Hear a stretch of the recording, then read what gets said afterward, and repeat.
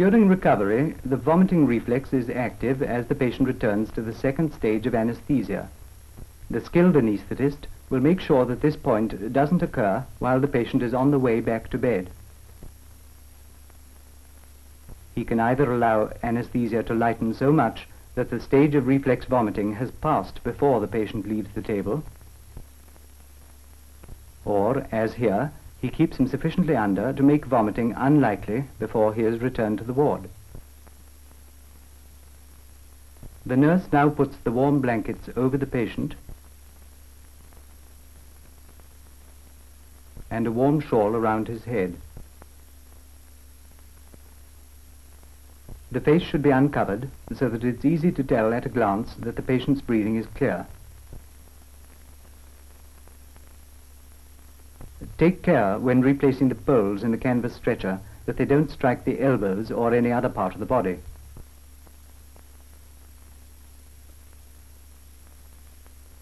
Before handing over to the nurse, it's the anaesthetist's duty to see that the general condition of the patient is satisfactory and to point out the importance of maintaining a good airway.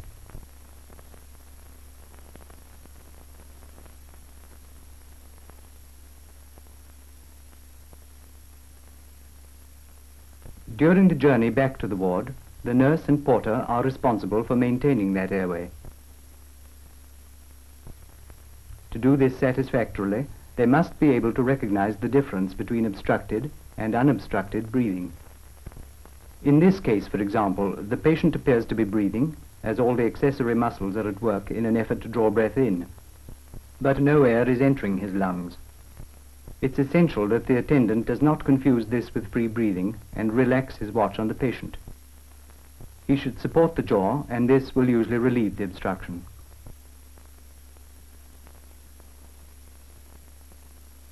In this case, on the other hand, although the airway is unobstructed, the patient's breathing has become shallow and the porter is alarmed and goes off for help, leaving the patient by herself.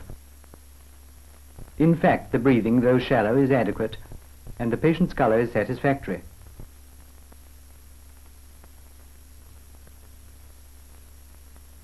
The correct first aid treatment in any doubtful case is proper support of the jaw.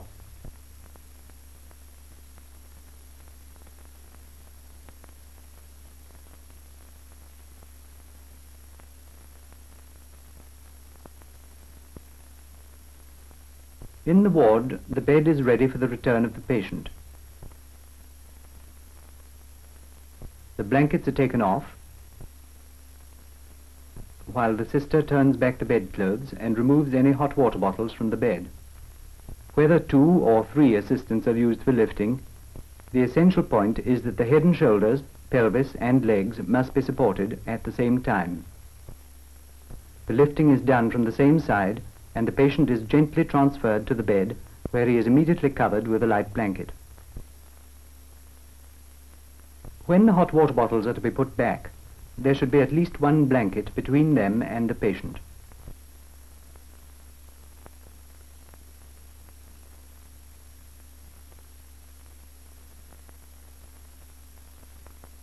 A tray of instruments should be at the head of the bed. This includes a gag, tongue depressor,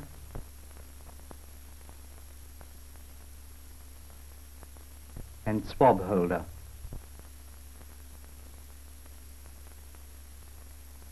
The use of any kind of tongue clip is to be avoided, as these tend to cause trauma.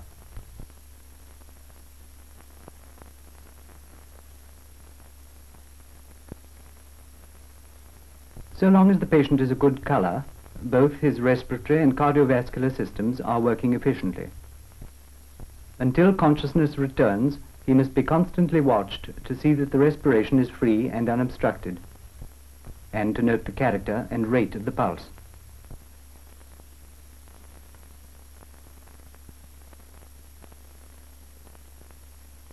After an operation on the nose, mouth or throat, in which there is a possibility of blood entering the pharynx and being inhaled, the patient must return from the theatre lying on his side with the legs drawn up and the shoulder well over. Make certain that an arm or knee is not hanging over the edge of the trolley.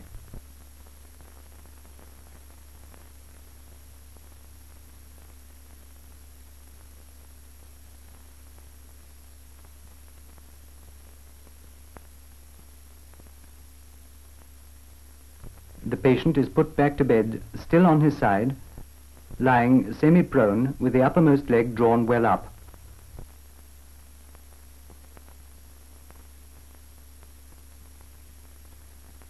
A pillow is placed behind the shoulder to stop him rolling back. In this position, any blood will trickle into the cheek.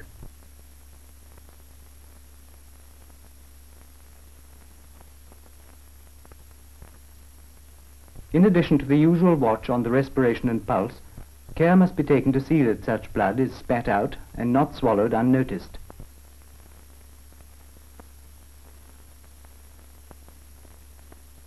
This is especially important after tonsillectomy in children, in whom the effects of hemorrhage are sudden and severe. In patients in whom hemorrhage is not likely to occur, vomiting may present its own problems. Although the anaesthetist will have done his best to prevent postoperative vomiting, it's not always avoidable. The nurse should therefore be ready to deal with it. A suitable receptacle is presented and the head held over to one side. In most cases this is all that's necessary. But sometimes vomiting is accompanied by breath holding and clenching of the jaw, conditions which lead up to the inhalation of vomitus. Then the gag has to be used. Inhalation of vomitus is a very serious complication which may bring on pneumonia or abscess of the lung. By inserting the gag, as soon as breath holding is noticed, the jaw is forced open ready for the critical moment and any possible danger is averted. Where the gag cannot be placed between the clenched teeth, the jaw must first be forced open by a wooden wedge.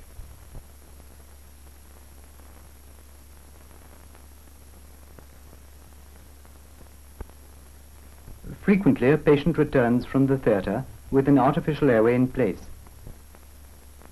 This should not be taken out until she appears to object to its presence by coughing or endeavoring to remove it herself.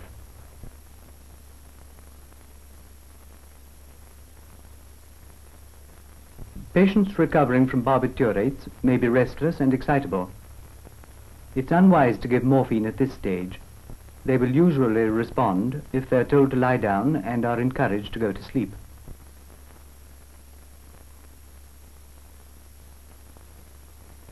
The patient must not be left alone until tone has returned to the muscles of the throat and he can maintain his own airway.